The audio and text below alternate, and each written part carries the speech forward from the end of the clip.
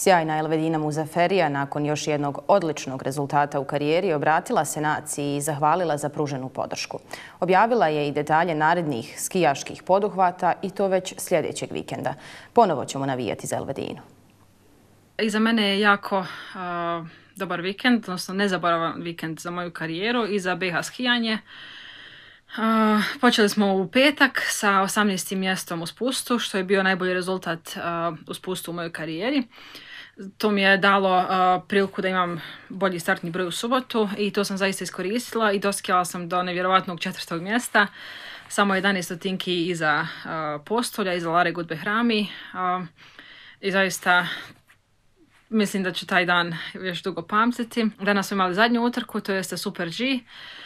Nažalost sam startala sa jako visokim brojem, to jeste brojem 46. Na kraju sam završila 16. što je drugi najbolji rezultat u mojoj karijeri u Super G-u.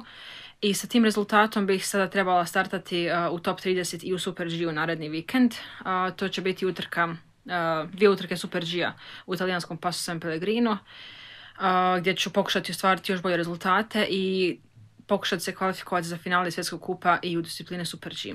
Hvala vam puno što me pratite, što navijate za mene i zaista se nadam da ću narednih nekoliko sedmica ispisati novu historiju BH skijanja i da ću vas učiniti sve ponosnim. Navijajte za mene.